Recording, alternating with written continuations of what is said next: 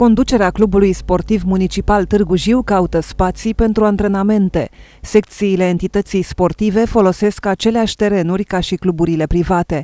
În ultimul an, la CSM s-au înscris peste 200 de copii la noua secție înființată de fotbal, iar spațiile de antrenare au devenit insuficiente. Soluții înseamnă alte, alte terenuri, altă sală de antrenament. Chiar am discutat-o cu, cu oamenii și cred că e e viabilă această idee pentru că noi ne-am, un, ne-am crescut foarte mult în ultimul timp și nu, pur și simplu nu mai avem unde să ne pregătim, chiar dacă directorii de la uh, școala Litovoi Economic Tudor sunt alături de noi și ne ajută, totuși sunt foarte mulți și avem greutăți.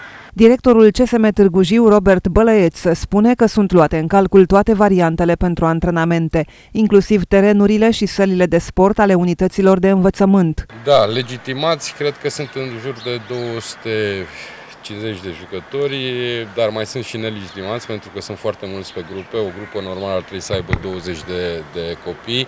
Noi avem și grupe cu 40 de copii și ne e foarte greu să ne desfășurăm antrenamentele pentru că nu sunt nici locuri, nici avem greutăți aici la stadion, sunt multe cluburi pe același terenuri, copiii au școală, se îngrămădesc pe, pe poziții de la ore când termină și sunt probleme și în viitor vor fi probleme și mai mari și trebuie să găsim trebuie să găsim uh, soluții, pentru că în curând nu o să mai avem unde să ne antrenăm nici cu ei, nici cu cei de sală, de sporturile de sală, basket și, și handbal. În prezent, meciurile oficiale ale echipelor clubului se dispută în sala sporturilor și pe terenurile din incinta stadionului municipal din Târgu Jiu.